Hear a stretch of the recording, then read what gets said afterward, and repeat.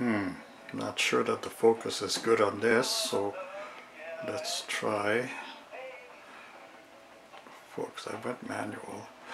Okay, fuel flow, not in my case, but a fuel alert, a low fuel alert. And this is how it works. There's a float that you can see here. And then when I drop it, because the fuel is low, Alert.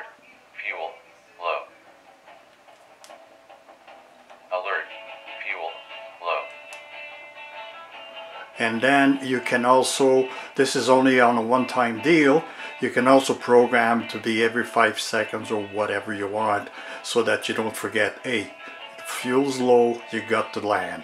So that's how I did it. Hang on, I'll put this down. Alert. Fuel. Low.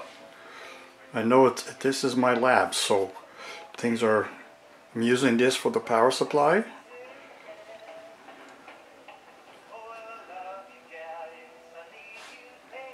The receiver, of course. And this is the one that makes it possible. It's a normal uh, voltage sensor.